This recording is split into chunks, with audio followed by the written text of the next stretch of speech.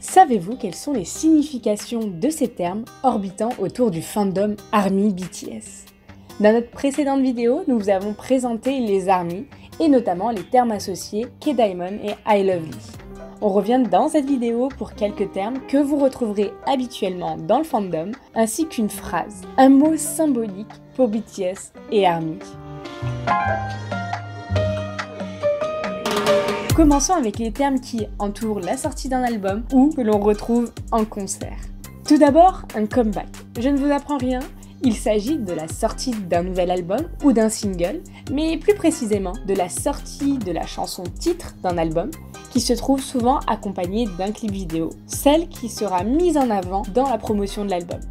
Cette sortie est précédée par un comeback trailer et un teaser, deux choses bien différentes. Le teaser est une courte vidéo d'environ 20 secondes, tandis que le trailer est un clip vidéo illustrant le titre introductif de l'album, généralement de 2 à 3 minutes, dévoilant en avant-première l'atmosphère générale de l'album. Souvent, il s'agit d'un solo d'un des membres de BTS et peut être une version parfois écourtée d'un titre, la version longue se trouvant alors dans l'album. Parmi les comeback trailers, on va retrouver par exemple School Love Affair, Boy Metyville, Cette sortie s'accompagne généralement d'une promotion telle qu'un passage dans les émissions musicales coréennes avec leur chanson titre. Cette période est ainsi rythmée par de nombreuses étapes.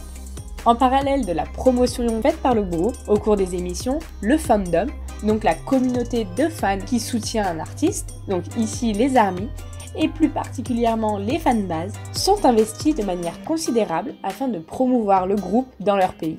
Ces dernières organisent par exemple des streaming parties. C'est un concept popularisé par le fandom ARMY. Il s'agit de séances d'écoute collective des titres d'un artiste sur des plateformes de streaming musical légales, se déroulant généralement sous forme de jeux interactifs et inventifs. Le streaming, c'est une écoute intelligente d'un titre, un album, afin d'augmenter l'équivalent vente d'un album, qui permet de rémunérer les artistes et de leur assurer une visibilité. Pour plus de précisions sur le streaming, nous vous invitons à visionner notre vidéo concernant le sujet. La sortie des albums est souvent conclue par des concerts, des tournées à travers le monde et les stades. Dans cette partie, nous allons passer en revue les termes qui sont utilisés lors de ces concerts.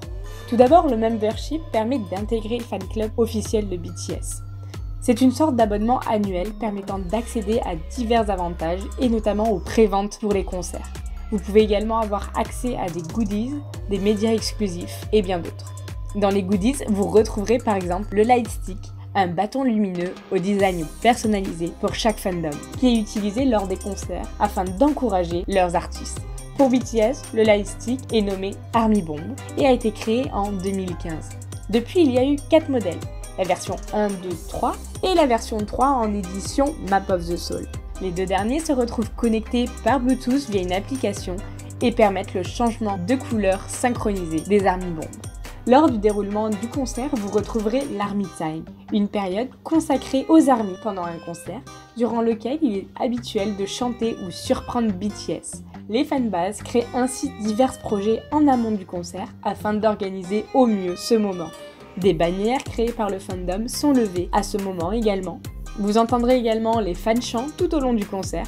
Ce sont des chants d'encouragement utilisés par les fans pour accueillir un artiste ou bien pendant des passages spécifiques de certaines chansons lors des concerts comme une réponse à l'artiste. Pour BTS, vous entendrez donc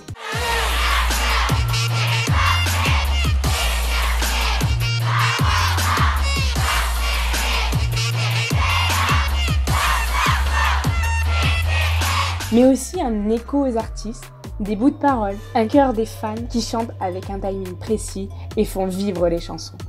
Sachez que lors des concerts, vous assisterez à un véritable grand spectacle. Nous vous conseillons de le vivre pleinement et pas à travers un écran. Cependant, si vous souhaitez des souvenirs visuels, seulement vos téléphones seront autorisés. Malgré cette interdiction, vous trouverez a posteriori des photos en HD des artistes. Sachez qu'il s'agit de contenus illégaux, non officiels, non approuvés par BTS et Big Hit. Ces photos sont l'œuvre de fansite. Un fansite est une personne qui se focalise sur un membre d'un groupe et fait très souvent tout son possible pour prendre des photos ou des vidéos de celui-ci, aussi bien lors d'événements professionnels que des moments de vie privée de l'artiste, dans le seul but de monnayer leurs photos. Nous finissons ici avec un mot, une phrase qui va devenir un emblème. Borae. Avez-vous déjà entendu le terme Borae ou Hyperbole Saviez-vous quelle est son origine et sa signification?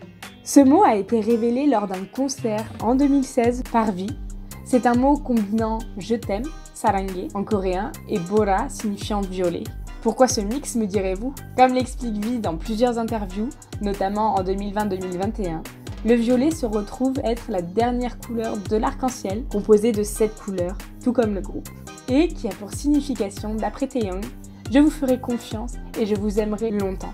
Depuis lors, le violet est devenu la couleur emblématique du lien très fort entre ARMY et BTS. Nous espérons que cette nouvelle vidéo vous a plu et qu'elle vous aura éclairé sur ces quelques termes. N'oubliez pas d'aimer et de partager la vidéo ainsi que de nous suivre sur les réseaux sociaux. Merci pour votre présence à ce petit rendez-vous et à très bientôt pour une prochaine vidéo.